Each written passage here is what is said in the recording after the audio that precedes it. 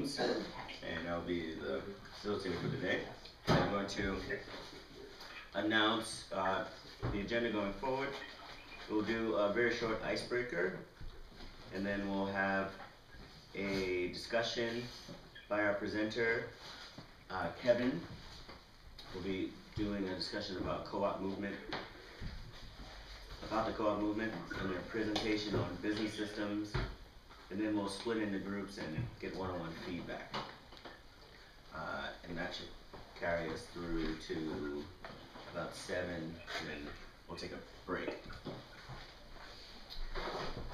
Um, so as a short icebreaker, uh, that's not about um, interest, compound interest.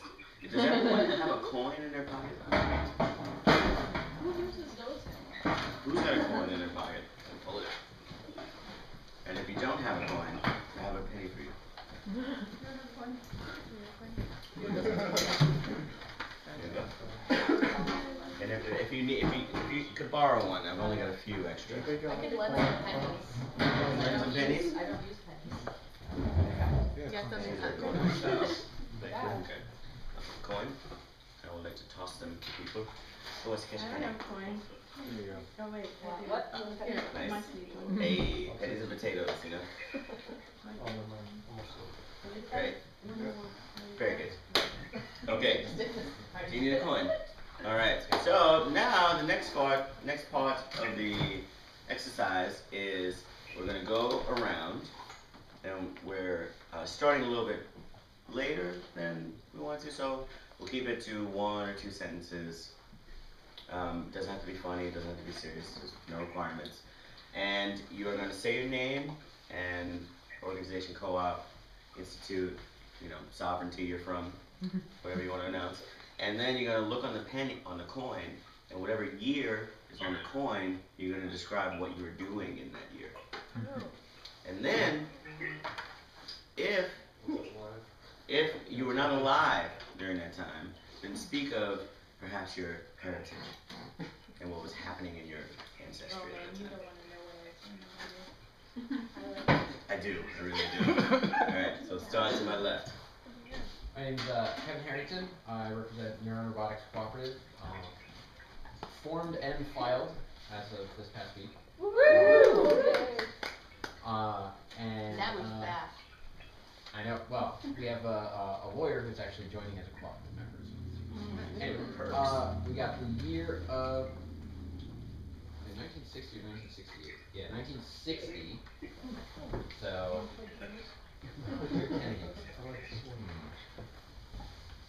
I have not really much of a clue. My twelve. So, what was my granddad doing? Uh, What have you been? Drinking in 1960. yeah, alright. that, that's that's uh, you know, get ready to go to the moon in nine years. I don't know. No, nothing. No, no, no worries. Thank you very much. I'm Marina. I'm um, helping out with the toxic soil busters. Um, I have 2013. Um, I was at Clark University, which I still am now, during my junior year. Very cool. Hi guys, um, my name is Mela. Um, also for Toxic Soil Busters. Um, I got nineteen ninety-three. I was one years old. So, Life is good. I'm Kevin O'Brien. I work with both Ethix Ventures Inc. and the Worx Printing Cooperative. Um, and uh, this is 1960, so my parents uh, still hadn't met yet. Um, they were both out of high school, living in and around Worcester, living the dream, and uh, thank goodness they met after this. My name is Amy. I'm with the Diggers Landscaping Co-op, and I have 2014. So. I found the diggers this year. Hey. Now go next. Um, I got 1980. Who are you, sir? Um, Was not born then at all. Not at all. No. What's your name? My name is Sergio Castillo. I'm with Future Focus Media Co-op, and uh, what our heritage is or something. Oh, okay, all right. Um, was born here, but my mom is from the Dominican Republic and my dad's from Ecuador. And yeah. Hey, sir. My name is Azar, and I'm from Soul Chariots Pedicab Co-op from Providence. Happy to be here in the flesh this week. um, and I got the year 2000, millennial year. I was 13 in seventh grade, and hoping I remember hoping the world wasn't going to end when it turned 2000. the whole like Y2K scare, or whatever. Oh, I also had braces and was really geeky. Good times. My name is Katie. I'm also with Soul Chariots in Providence. I got in 1996, and 1996 is the year that I moved to the States. So now I've been, that's a long time. Now I've been here 18 years. That's very strange. So that was a big year for me. It was on my the first step on my track to becoming American. From, from where? Um, I moved from Canada, but I was born in England. Yeah. I'm Haji. I'm from WPI here in Worcester, and I'm working on the greenhouse project. I got 1982, so my parents were both younger than I am right now. Um, yeah, they haven't met yet. My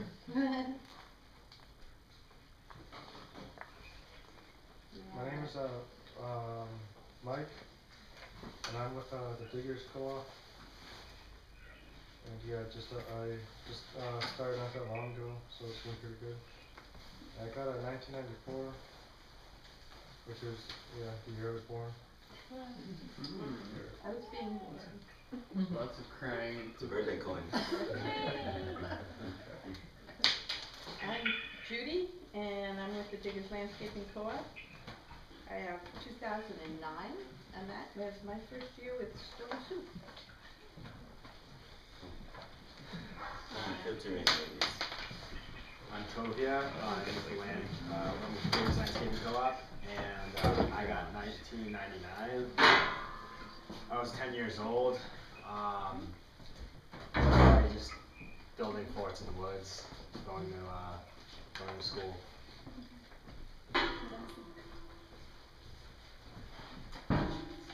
Um, uh, I'm Matt Feinstein. I'm with Worcester Roots Project and also repping the Future Focus Media Co-op. Um, and I got 1984. I was just a wee one. I was I was three, and I was on a farm in Western Massachusetts chasing pigs and chickens. And my job when I was three, I think I was already helping get the eggs out of the chicken coop and stuff like that.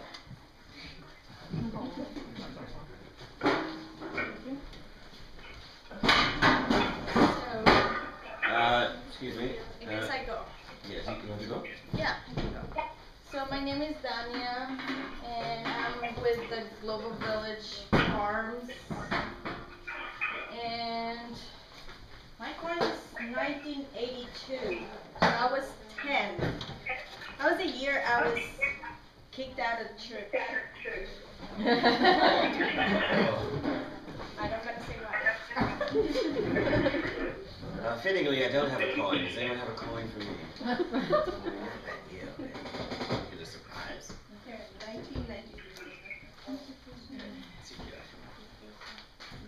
Nineteen eighty-two. I was uh, I was two in uh, New York City, and uh, still just quite young and dreaming. Excellent, excellent. So let's give ourselves a round of applause, just because it's nice to clap. There's some new people that maybe could just see their names and fill out. Excellent. Would the ladies who just arrived from New York just say your name and my name is Mariela. Hi, and and where you were ten years ago. Um, in Rhode Island. well, I was working at, at a factory, so this is new for me. Very cool. Thank you. Hi, my name is Cici Farina. Mm, cuido de mi niña. She said, watch my kids. Very cool. Um, hi, I'm Sophia. Um, and I think I was in the ninth grade. Um, in Rhode Island, you know, studying, being a student and all that. Playing soccer and things like that. Very cool. Um, my name is Maria, and ten years ago, I was probably babysitting. excellent, excellent. Thanks everybody for coming. Quite a full room. Uh, hope the food was delicious. So that's going to end our icebreakers, and I'm going to welcome up Kevin to give us a presentation about the co-op movement. So everybody, help me in welcoming Kevin.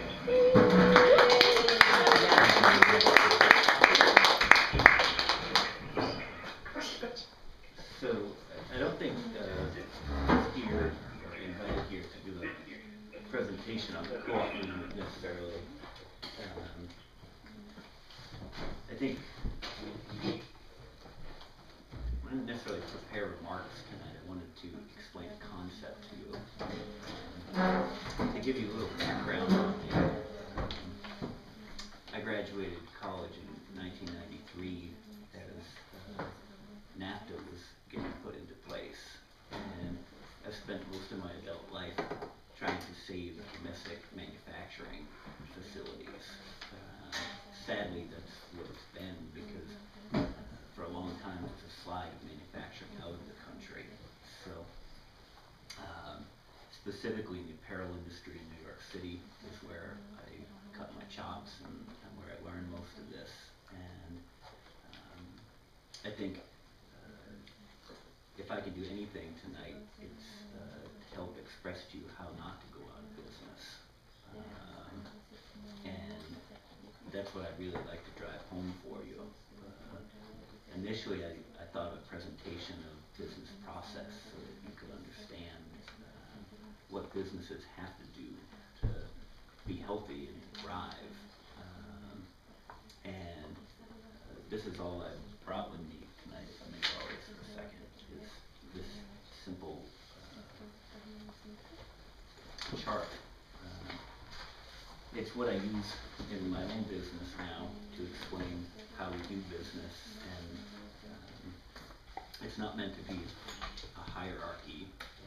Uh, it's just meant to remind you of all the functions that have to happen every day for a business to work. I think in some of the collateral that Matt sent out, he described the business as a human body. I think that's a great way of looking at it. Um, I think there are lots of analogies. Uh, I often would this use a, a watch. Uh, you know, each one of these functions is a gear. I guess I'm dating myself a little bit and thinking that watches have gears. Um, but uh, if you've ever seen a, a watch function, um, lots of little gears are what move ultimately the, arms. Um, you can actually take certain gears out of a watch and the watch will still go around uh, as if it is keeping time, but it's actually losing time. And if, if those gears are missing, uh, eventually you lose a minute or an hour or a day. Um, and I hate to be corny, but um, time is money, and uh, eventually your business will go bankrupt if you're not functioning um, in all these categories. So what I did with this was I, I tried to leave parts of it blank because I don't know what everybody here does. Um, and it, it would be helpful for me if I could just understand a little bit better about what your co-ops do. I understand understand future focus and what that does, but other than that, um, I'm a little bit at a loss, so can you just give me a, a couple sentences from a, a few of the co-ops?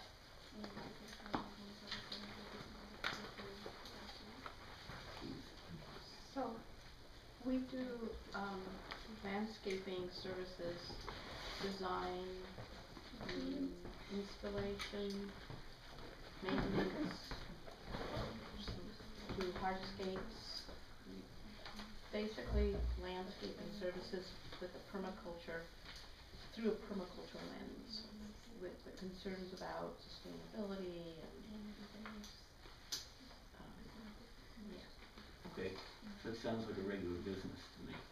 Um, and, uh, what do you guys do? We're Soul Chariots. We are a um, bike taxi delivery and uh, tours company that operates all by pedal power. So, and we also offer advertising. Very fun. Yes, lots of fun stuff. What do you do Uh, as of this week? uh, it was originally a uh, an LLC, but we make uh, these little USB robot controllers. Uh, you plug into a computer and lets your computer become a robot. Really? So they just converted. from Ju- the uh, doing a LLC to- conversion, uh, uh, turning over ownership to the, the workers. Very cool. Um, so, uh, you know, traditionally in this chart, um, you have a board of directors, um, that kind of oversees what, what the company does and advises the company on how to do it. I think all of you are board members, uh, of your own companies. Um, What, uh, what typically a board does is hire, in your case, elect a manager, um, to oversee the day-to-day operations, um, so that you don't have to have a collective decision on, uh, every single purchase, on, uh, every, uh, thing that has to happen for the company to function every day. Um, that's general management. General management's function is to make sure that all the gears are working. Um, general manager or manager uh, would have uh, consultants, an attorney, an accountant, um, mentors, industry-specific consultants, um, and would also have some form of a CFO um, and bookkeeping function. Um, under that, um, in this in this structure, you have the five functions of marketing, uh, of selling, of operating, of producing, and of developing the product that you're selling. I can get into each one of the individual functions, but um, you know, it's interesting for me to learn this map because um, I actually started uh, working the very first company I worked with was uh, a group of Clark students um, had uh, started making T-shirts out of their dorm, or weren't making T-shirts out of their dorm. They were getting T-shirts made out of their dorm. Um, they had a local screen printer who was printing them, and uh, by the time they graduated Clark, they were already selling a couple million dollars a year of T-shirts. Um, they moved their operation to New York, and when they finally went out of business, they were doing about eighty-five million dollars a year in sales. Um, I was lucky enough to work with uh, them and their consultants who explained this chart to me. I didn't learn it in school, and um, I didn't go to school for business. Um, everything I've learned about business has been uh, on the job, so to speak. But as the industry started to slide out of the country, um, I went into more and more businesses who were struggling um, to deal with uh, the tidal flux of business coming in and out. Um, and every time I met a small business owner, it seemed that they only thought of two things, that it was selling and producing. And they didn't think about the other functions. They just said, well, we sell stuff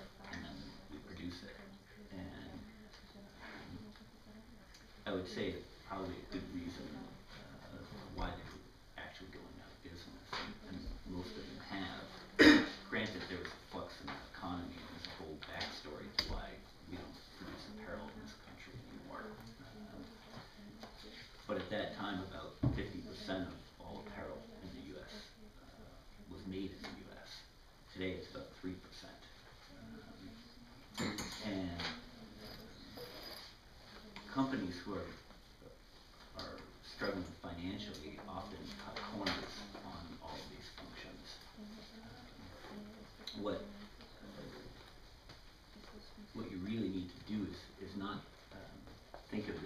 you need to hire somebody for each of these positions. Ultimately, that would be awesome if one person was doing one function.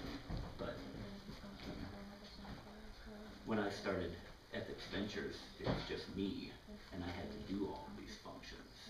So the most important thing for you to do when you're developing your business and developing your business process is to just make sure that you're covering all of these bases.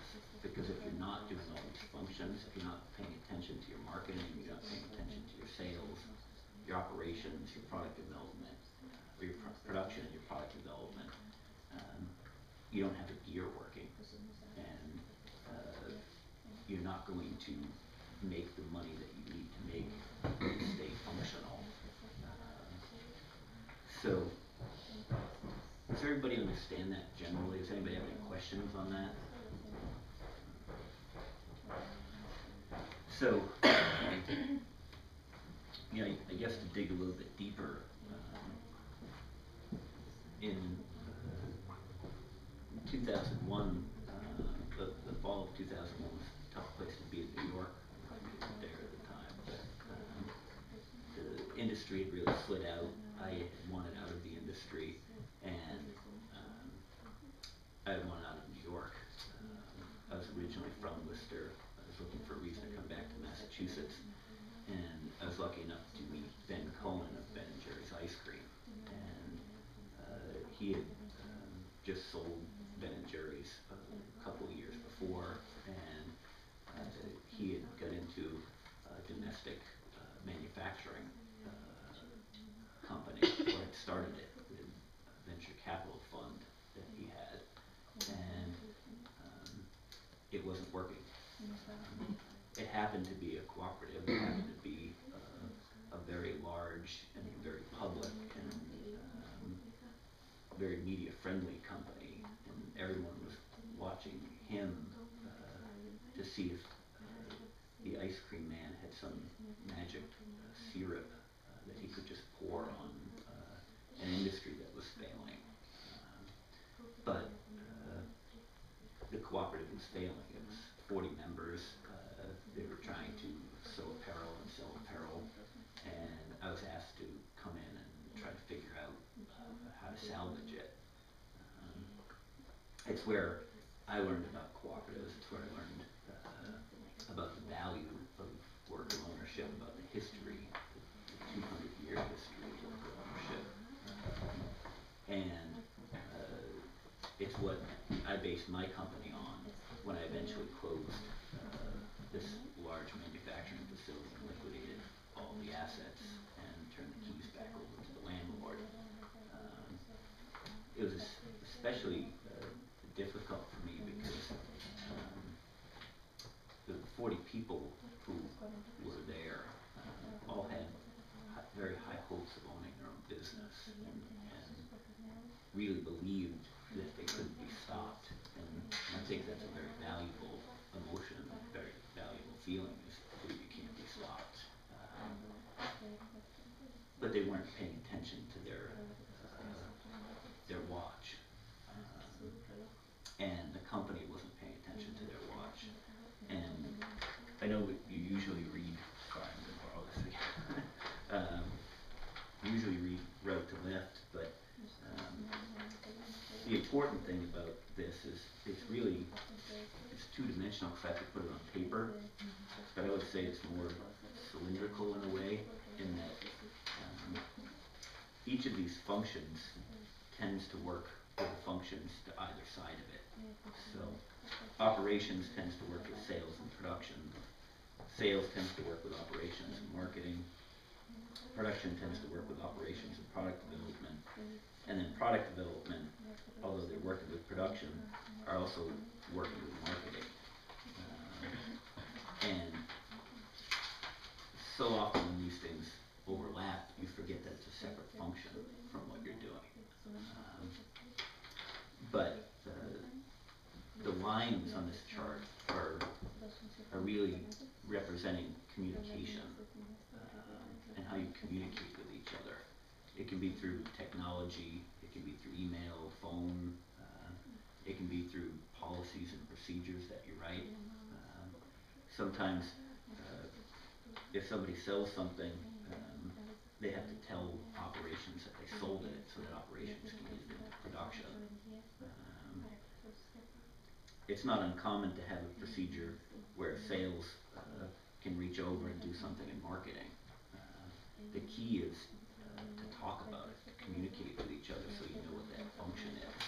Um, in a way, it's it's it's really team oriented, and um, you have to find ways to communicate and set up your communication structure so that uh, you're not overlapping your jobs, you're not doing twice the work.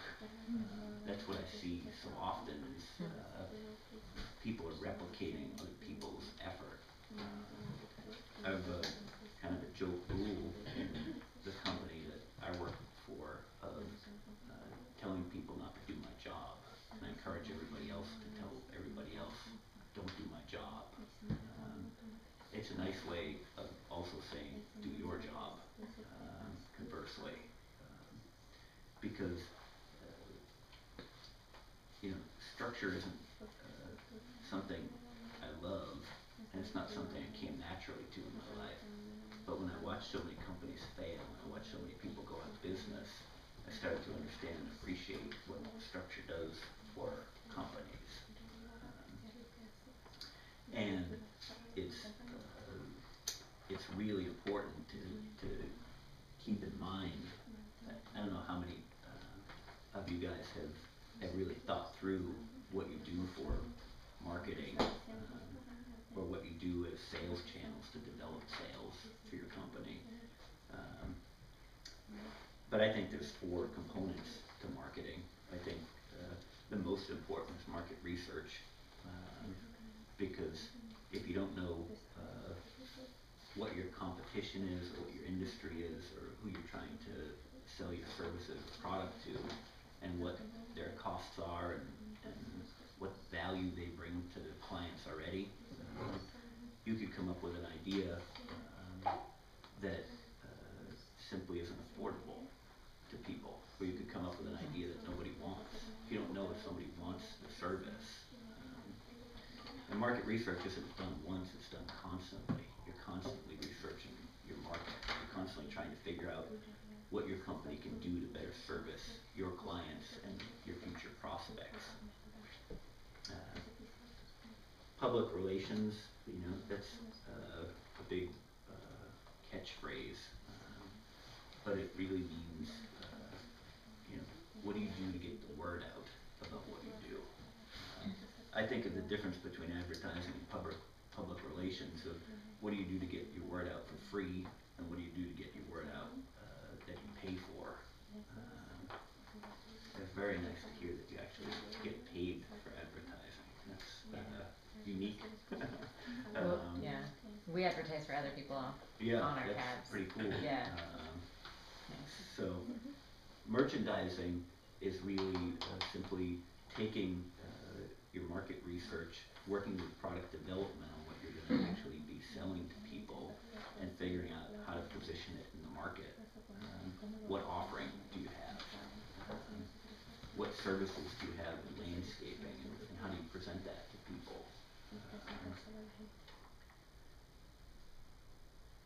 These four things all have to happen at the same time. You know, this, this isn't uh, step one, step two, step three, step four. Um, as anybody who's operating a business knows now, you're constantly pulled between all these things. And you notice your marketing's not, uh, you're not focusing on your marketing when your sales start to dip. But if, if, if you wait until your sales are down here, it's very hard to go back over to marketing and start cranking marketing up uh, to get sales back in. You really have to do that before sales dip. And and you learn that over time because you'll see ebbs and flows to your business. But um, it's really important uh, to stay focused on the marketing.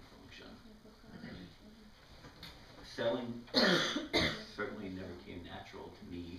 Um, I was very shy. Um, I didn't really know uh, what selling meant or was. I, I always thought of it as kind of snake oil. Um, you're trying to get somebody to buy something that they don't want, or uh, you're trying to hustle somebody for something. But if you're out there selling your services, uh, sorry, but I just remembered my very first selling experience um, was in grammar school, and uh, my teachers got me all excited. Uh, they they told me we were going to do a fundraiser, and um, they were going to bring oranges up from Florida in the middle of the winter, and at that time you couldn't really buy oranges. It might sound weird, but uh, it was more it was rarer at the time. So uh, I thought that sounded awesome, and they got me all psyched out for it. So all I had to do was go out and get my neighbors and friends to uh, sign up to buy a case of oranges. Um, I remember getting and uh, going out. It was cold. And the very first house I walked up to was the one who lived a few houses next to me, and I had everything in my head straight uh, about all the benefits of having vitamin C in winter, and how delicious oranges were. And, um, you know, I started talking to her, and she said, "I don't want any oranges," and I didn't know what to do. I just froze, and I turned and I walked away. Remember being red, and uh, I, I wanted to cry. Like I thought it was the best idea in the world, and um, it, it was some rejection. You know. and uh, you know, come to think of it, it probably wasn't the best idea in the world. There might have been other fundraise. Um, but selling is something that you have to do constantly with your business. Um, it's not uh, snake oil. It's not. Um, it's not a negative. It's it's a positive. You have to be constantly um, telling people about what you do, uh, networking with people, and, and you know you find connections with uh, other people and, and other ways to develop business.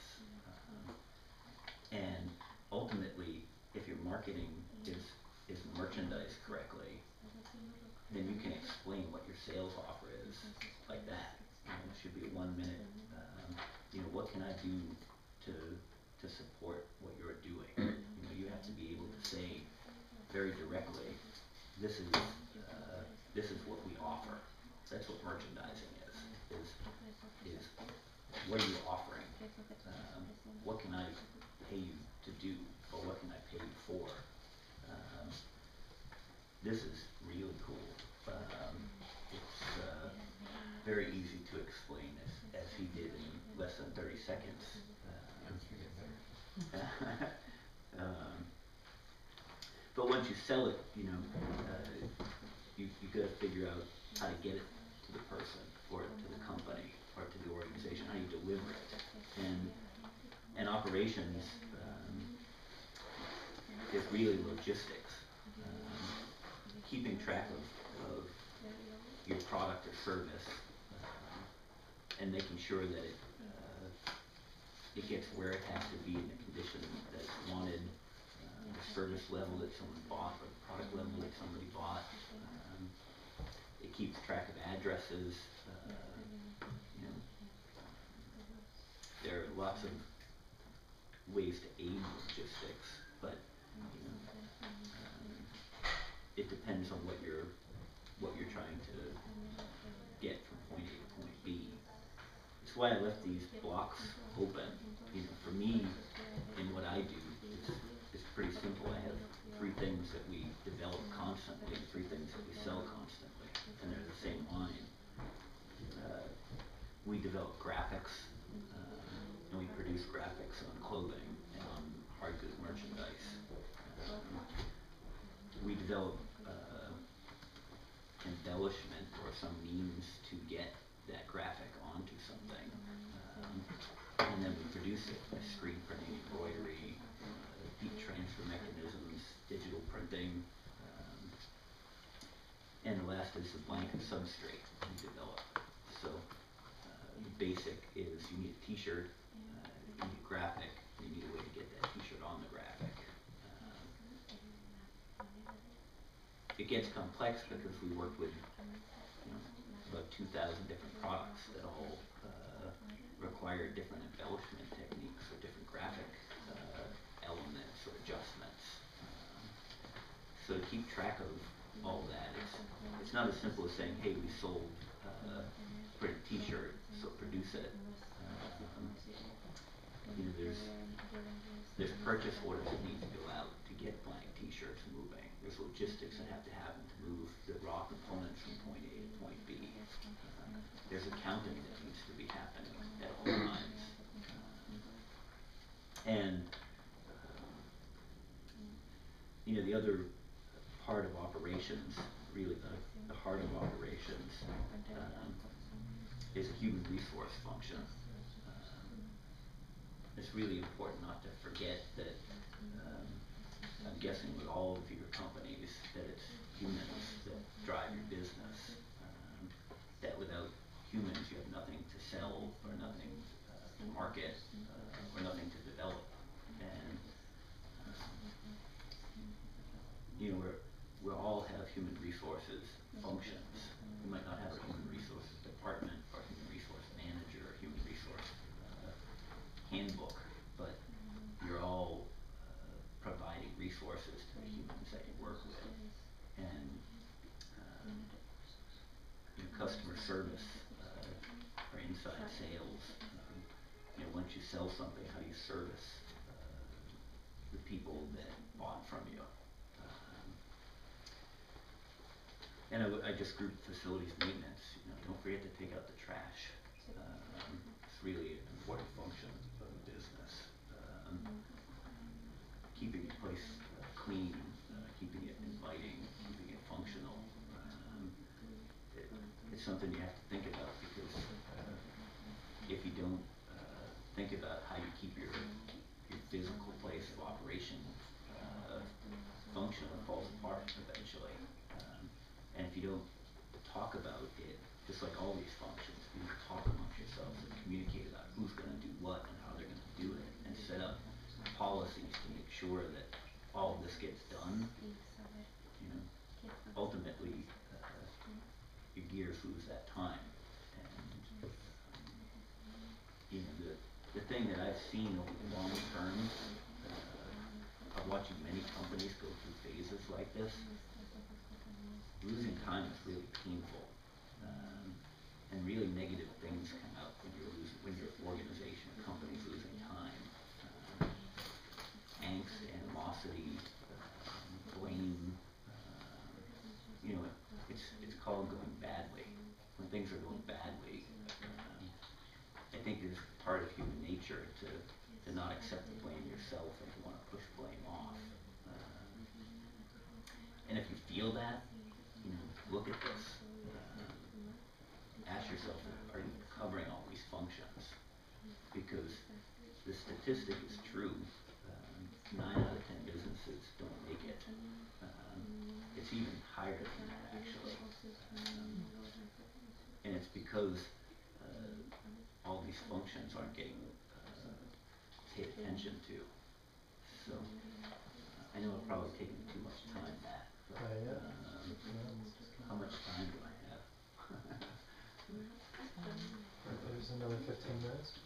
Yeah, because there's the, the two parts, right? I don't want to necessarily continue to pontificate on this, but um, I have a lot of experience in it, and I'd love to share it with you guys. So I don't know if any of this is registering or resonating with any of you, but uh, if you have questions, I'd love to answer them. So it's really resonating with us, with me. Um, but the challenge that um, I think we face, or that we, we're struggling with, is that um, is how to address all of these functions without over determining our roles. Because I don't think we want to assign one person to one function and uh, we don't have a lot of people, so you know we have to, as a group, take care of multiple functions. Um, so it's setting up those processes and those systems and make, and keeping, making ourselves accountable. That resonates. That sounds difficult. Um, I think, uh, I think, you know, anything that you can do to communicate, um, the feelings and, and the thoughts around it, ultimately, um, the more people that get attracted to an idea, the more people seem to naturally fall into functions, what they're good at. You know, if you can identify what people are good at and, um, they can do naturally, it's better than, than having to adapt their styles. Uh, a lot of people, uh, in this world work, uh, in adaptation of their natural style, and that's why they don't like their job mostly, is because they're, they're changing who they are to do a function. And that also, uh, can breed animosity and angst, of having to do something you, you're not naturally inclined to do. Doesn't mean, uh, that you shouldn't do it because you don't like it. There's a difference between uh, being inclined towards doing it and not liking it, so not wanting to do it. Um, you know, I think, um, how many people are there in your organization? Five to seven. And, um, do most people do actual, um, landscape work? Yes, most people do actual landscape work, not many of us have done, what, what's hard is the business end of things. Mhm. The business development, doing the bookkeeping and, um, figuring out, I mean, we're beginning, we're sort of slowly getting some systems in place, but, um, having people follow the systems that we set up, that kind of thing. And it's, yeah, I don't, I, mm. it's hard for me to imagine breaking off those rules. Yeah. Well, if you don't, you'll go out of business. Um, and I think that's an important message to get back to everybody, um, that, um, you can, you can move along and time can go by and you cannot address issues, but they don't go away. They stay with you and, uh, eventually it's too late to go back, or you can't go back. Um, so it's better to sit down and, and have a powwow and, or a retreat and, and, you know, I think tough thing about manufacturing, doing stuff with your hands all day, which is most of the people I've worked with, um, is it's hard and it's tiring. At the end of the day, you really don't, you know, you wanna take a break, you know, you don't, you wanna turn it off. Um, be really helpful if you guys could take a, a Saturday or, you know, day that you don't work, um, and plan a day around just talking about your business. I think that's a really important function, and to, to just throw it on the table, um, you know, we're going to go out of business if we don't cover all of these functions. So let's talk about that.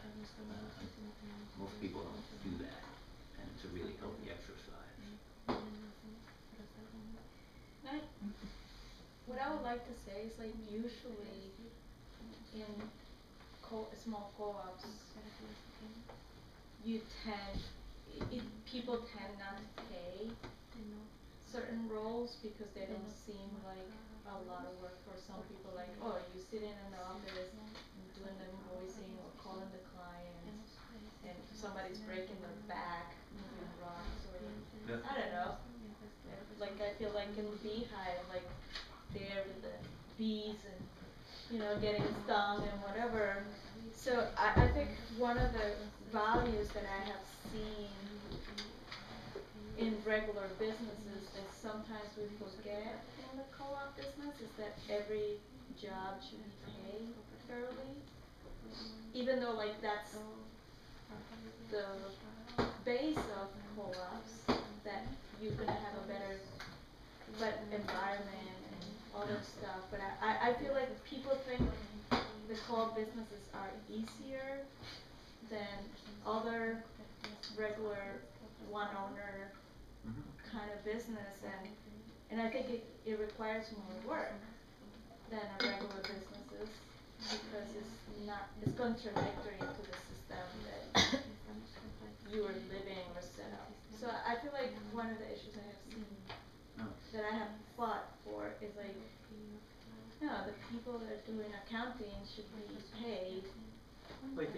and it should be valued less than actually beekeeping or, or breaking up rocks.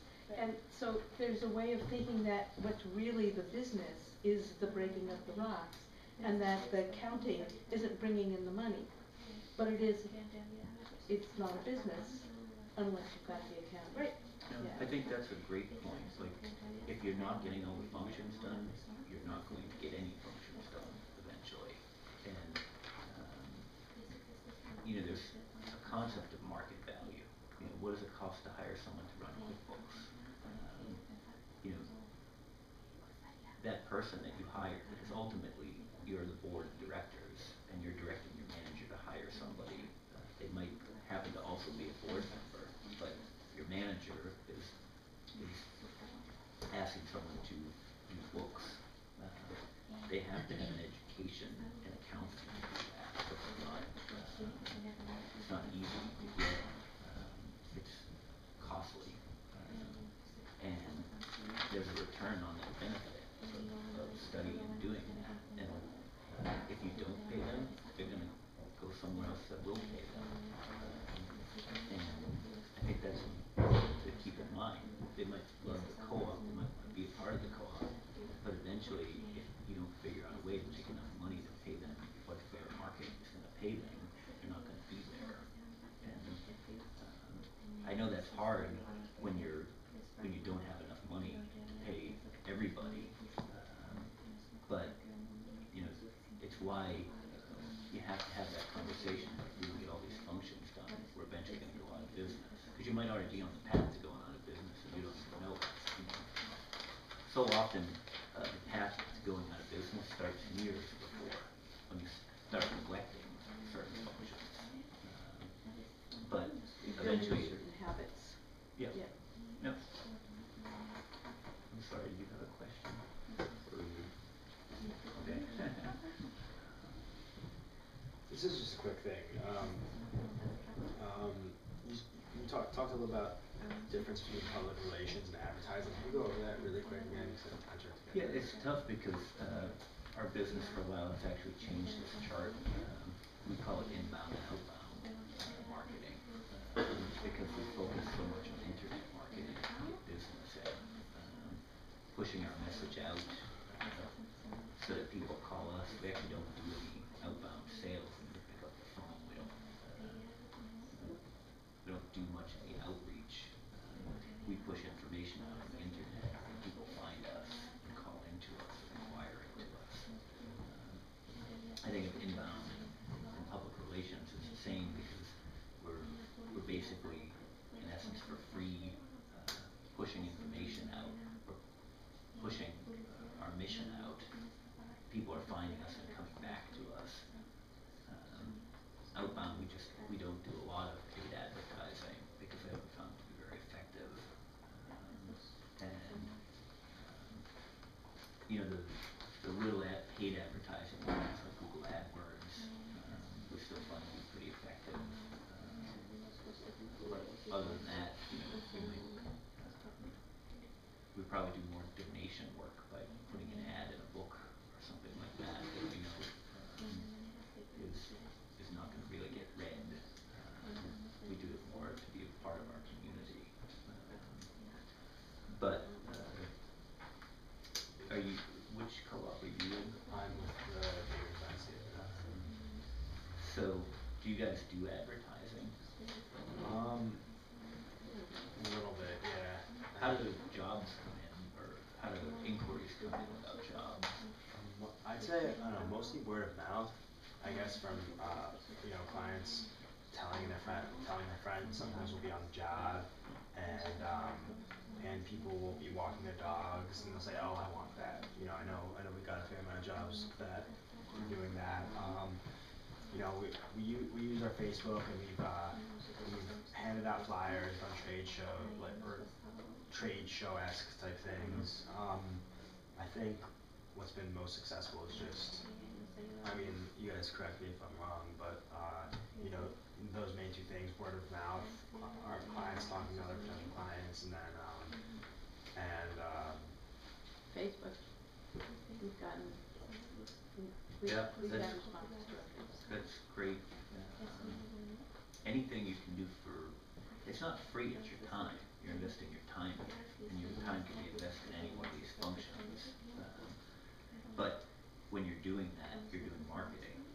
Um, And, you know, you should allocate X amount of uh, time to it. Or you said you have five or six or seven people. um, You know, what is everybody doing during the day? What is everybody doing during the night? I mean, ultimately, no startup is a nine to five job. Um, it's a nine to nine job, uh, not twelve hours, but twenty-four hours. Um, and, you know, if the job doesn't get done, you're just procrastinating, not being in business. Um, and, uh, you know, again, it's, it's where you can either turn it into a positive and rally everybody behind getting everything done, or you can try to do it all, and that time starts going backwards, and you start feeling uh, like you're doing too much, and other people aren't pitching in. Um, you know, it's gotta be talked about, it's gotta be communicated to everybody. Um, you really do have to think as one mind, feel one emotion, um, if you're gonna be a true cooperative, so that everybody understands, um, what's at stake. Um, It's a frank conversation to have, um, but it's really important conversation to have. I don't know if that answered your question about inbound and outbound Yeah. relations. Yep. I have a question. So we're we're basically um, a service oriented cooperative. Do we have a production department then? Is that mostly just if you have a tangible product that you're selling? Um, well, I, I think that production is peddling, right? Like, Would that be that's what you're production? selling, Okay. uh, Yeah. is, is your woman power, uh, and, uh. Does going and- to the gym count? But you're also selling the advertising space, So producing the ad maybe is Yep. fall in that department. Okay. you know, you, who develops the ad for you?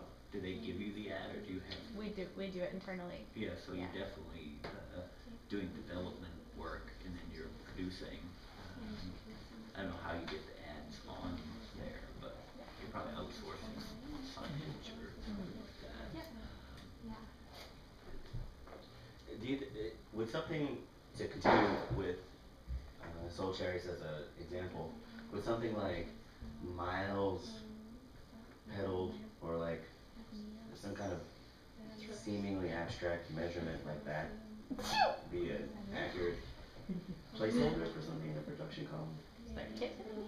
Um, well, yeah, I mean, you know what you produce per year, you know how many revolutions you produce per year, you know who produces them. I mean, your vendors in production are really your people. Um, and, you know, there's, there's probably more things that you're producing. Um, you said you do delivery too. Um, so, uh, who, how do you know what, when to deliver what? Um, yeah, we have like a delivery coordinator who will make a schedule or a route that Yeah. needs to get delivered upon. So would that fall into production too, that kind of thing? Because I saw Yeah, I- logistics well, I- is I on would here say with that's the more operations. logistics, logistics and absolutely. Okay. Um, scheduling, uh, making Yeah. sure everybody knows where the service has to be, when it has to be there. Um, But it sounds like most of your production is in and around, uh, your actual physical labor every day.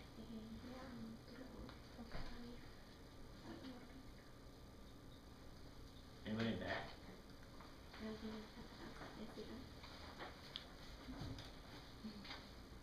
Alright. So we're gonna have a chance to split into groups and talk specifically about our co-op's structure and, and business systems.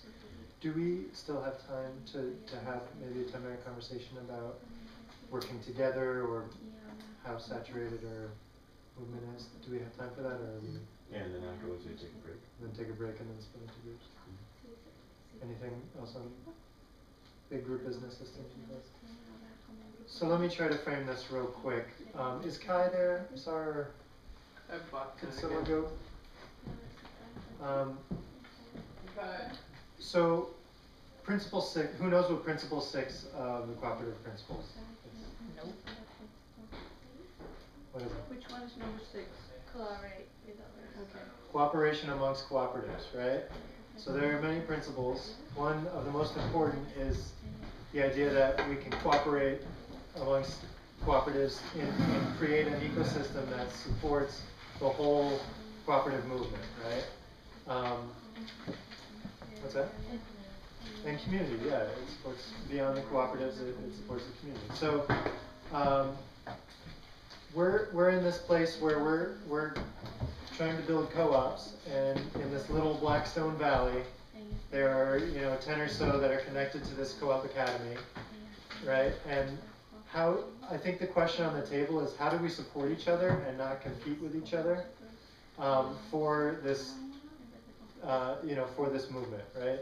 So how does Toxic Soil Busters not compete with Diggers Landscaping when we both do landscaping work? But do we work together and, and, and coordinate with each other and, and uh, get each other the kinds of niche markets that, that make sense?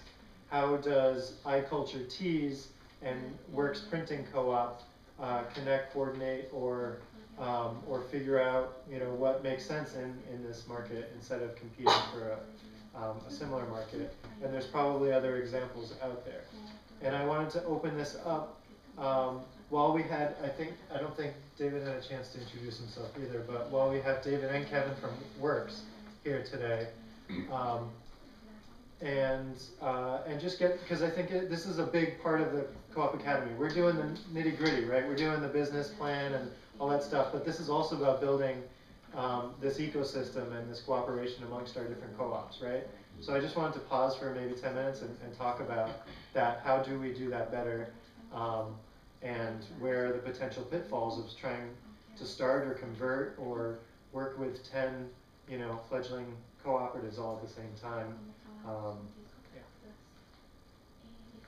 Okay. Because Kai's the only iCulture T representative.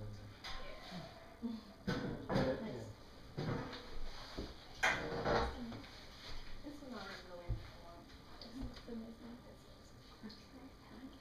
So, so Matt wanted to open it up for discussion about how cooperatives, helping other cooperatives in this learning setting and also outside of this learning setting to advance each other and, and not compete in, in, in specific, but also support and enhance each other. Well, I think the first really obvious one to me is like the um, you know the t-shirt and graphics groups um, being a really clear collaborator with all the other co-ops because all the co-ops need t-shirts. You know, everyone needs t-shirts. So I feel like that's like one clear like avenue to like start the conversation. Like every, everyone here could use a t-shirt with our co-op's name on it. So that's collaboration. That might fall under uh, marketing.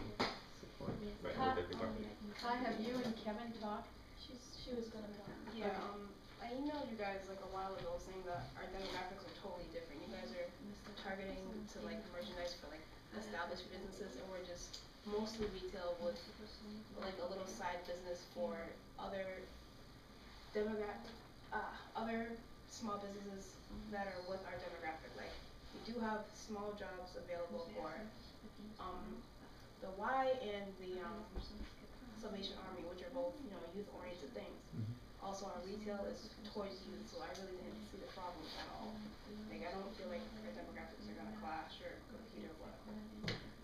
Um, I guess I would say our demographics are exactly the same, and uh, I think uh, doing market research, it's, it's hard for me to talk from both a, a business owner perspective and um, trying to help you in your business because you decided to, to me to be direct competition to our business because Salvation Armies and YMCA's will work with all over the country.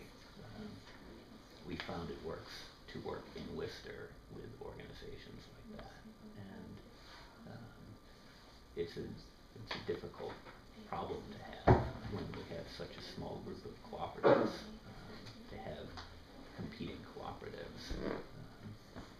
You know, I, I don't necessarily think we should spend the time um, staring at or trying to figure it out, I'm, I'm happy to talk in depth to you about it.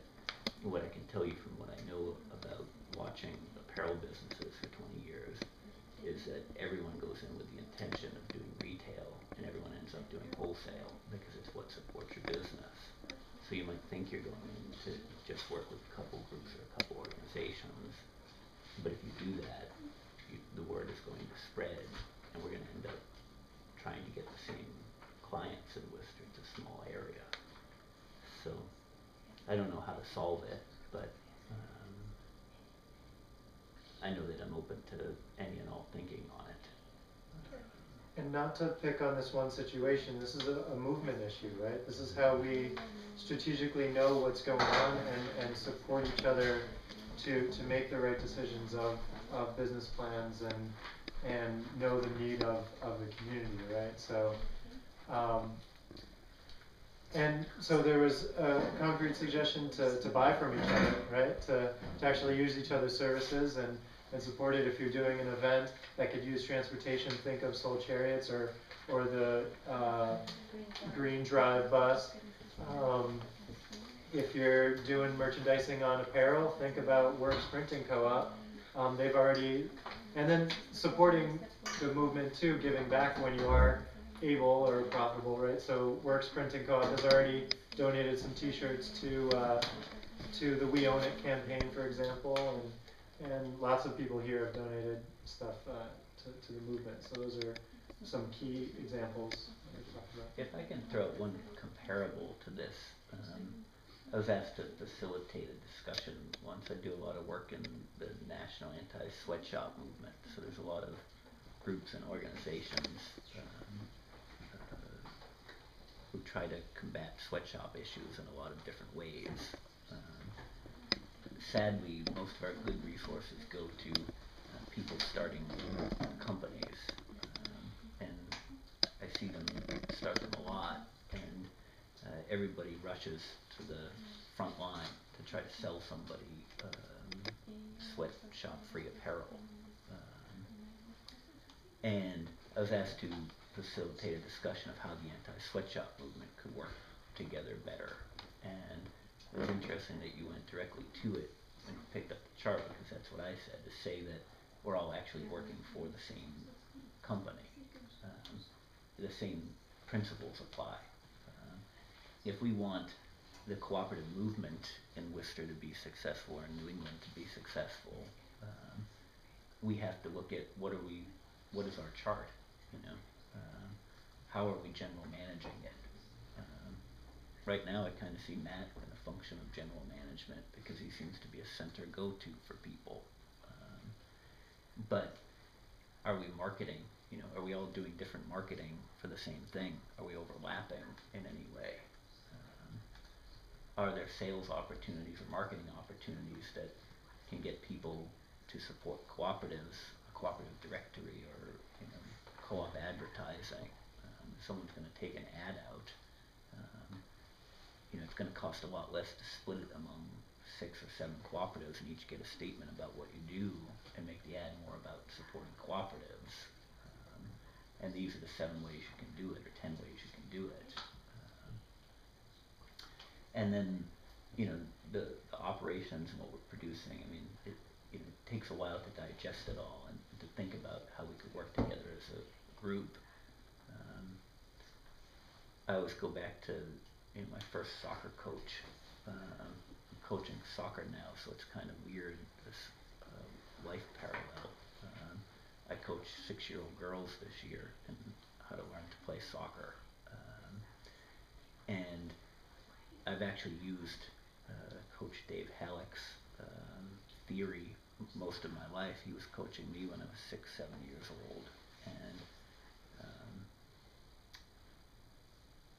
you know, when I was that age, I thought I understood what soccer was. I thought I could just go out on the field and play the game. Um, but uh, every day that we played soccer, he just yelled one thing out on the field. Uh, we were the Bears, and he just yelled out, "Don't bunch up, Bears! Don't bunch up!" And he had a very thick voice, so it was more, "Don't bunch up, Bears! Don't bunch up!" Um, and what he was trying to get us to just understand is that there are positions or zones or, or places that you're supposed to be on the field. And, and um, after a year of yell, getting yelled at mostly, um, you know, we actually played goalie, we played defense, we played midfield, we played offense, and um, it was just that constant reminder of you can't you can't all run to the ball, you know, you can't all uh, go to the glory, go to the thing that's sexy or, or the, the part that um, the game is focused on. Um, otherwise, the other team's going to take the ball and just march right down the field and score. And uh, I think what happened in the anti-sweatshop movement is when we got this critical mass of people together. Ultimately, everybody that was at that meeting had had so much uh, ego and pride about their individual idea that they retracted from it and they focused on their idea, which was a clothing line. Uh, there's so many other things that have to happen in a movement, um, other than just try to get the money from a direct sale to retail. Um, there's all the capacity building things, um, all the operational things. Um, so I like the way that you were going, or the directive you were going with that of what could we do together to um, better all. Yeah, I like the I like the potential of this conversation. I, I feel like um, we should continue for another you know a few minutes or so before we break, but that this is you know kind of the undercurrent of a conversation that's always happening, or hopefully it would be always happening, of how we can how, how us as cooperatives can work collectively to advance cooperatives. Right, that's the main idea. It also sounds like a like a topic for a retreat, a co. You know. So many retreats. I'm down. but it just it just sounds maybe we need a retreat center. Start a I cooperative think- retreat center. I think perhaps um, what we could I, I just joking because that's what Global Village is doing. So. Uh, um, Don't do that. maybe one suggestion. that- Compare with me. One suggestion that I was gonna make, uh, as just as a you know, take it a facilitator hat, put myself in the stack, which is the um, is the idea that I I would really love to see us, you know, in all our various movements for all the rights that were stolen from us as individuals in all kinds of walks of our lives, that we don't define ourselves in the negative, but that we define ourselves in the positive. And that i- it's that we, we don't want to be in competition with each other. That actually that might not even be true because I would love to be in a competition with a co-op and not, someone else. Me personally, so I don't even know if competition is necessarily a bad thing. But I know what I do want. I do want co-ops as a means of ending poverty. Mm-hmm. You know, and that's just where I'm coming at it from. Or at least co-ops as a means of ending my poverty. and I feel like everybody in this room has got some of that going on. And so maybe that we could start there. And how, wh- what can we do in the things that we already are doing to advance ourselves and our cooperative family? And in the future, how can we continue that conversation? I just want to respond, and I don't think our movement needs a general manager or has one. But, um, That's what all managers say. Yeah. But um, I do think our movement needs uh, some strategy and some campaigns that we're working on. And my organizing hat says, let's go after some some bigger fish that can create better markets for us, right? So that's something Solidarity and Green Economy Alliance has thought about. So like institutions that do a lot of buying could buy from us, right? They could buy the food from the greenhouse co-op. They could do, you know, whatever land, whatever landscaping they they subcontract. They could subcontract the diggers. They could buy robot components from, you know, we could go on and on, right? Buy their apparel from work. So we could push some big institutions to do some of that purchasing locally, and that's the main campaign that Sage has come up with and that Roots has been working on. Um, so we invite you all to, to get involved in, in that um, and shape it however it makes sense for your co-op or for what you think the movement needs. Um, and so there are Sage meetings that are the third Thursday of the month um, here at 5:30. And there's a Worcester Roots event. It's called a Friendsgiving event. Sabby can tell you more about it when she's here later. But in case you have to leave, here's a little flyer um, where we'll be, you know, doing some of the strategy work. That was my idea of Thanksgiving. Anybody, uh, anybody else have a comment? Yes.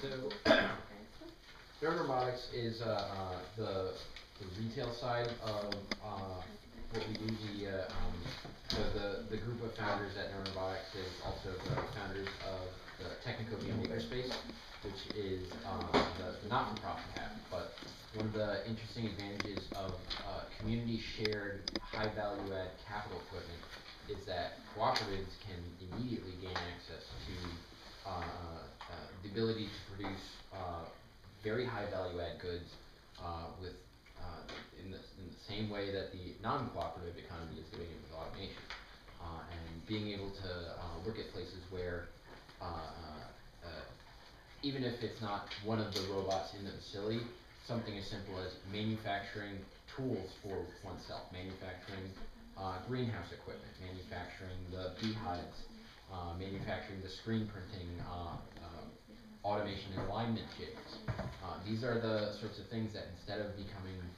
uh, that that community tool shares can offer to these various organizations instead of being uh, looking to the, the external market as the source of all productive equipment, start looking back inwards for the, the tools and then uh, the what those uh, the actual value add of the tools you have are.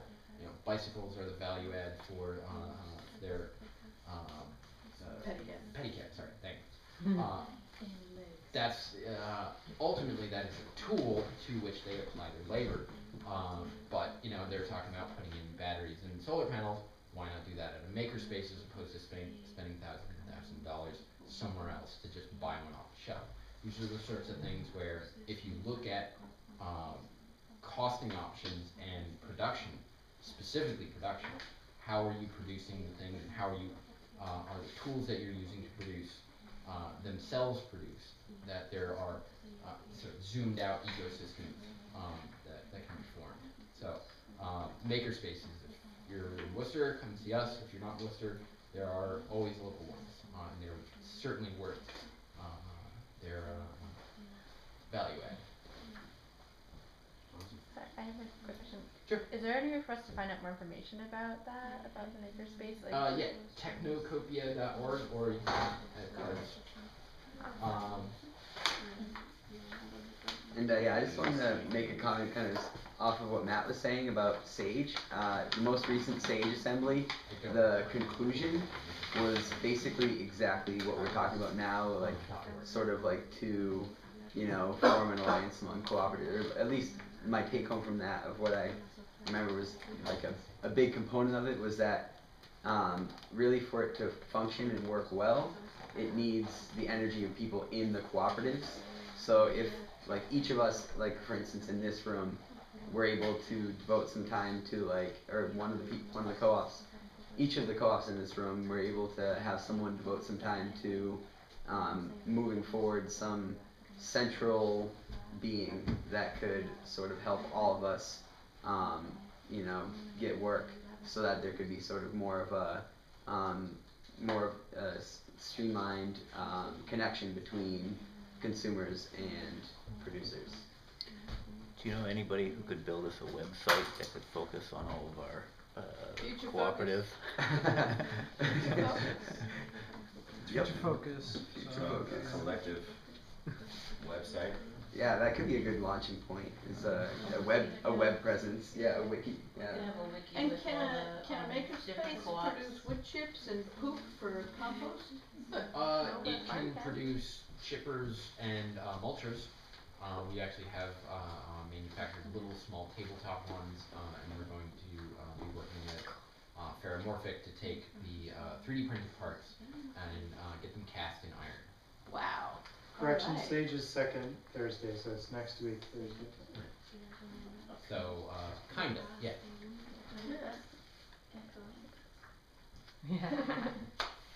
Uh, I had a, an idea.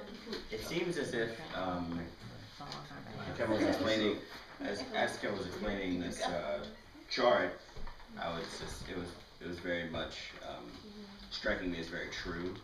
It felt like his observations and his his presentation was very true. Um, and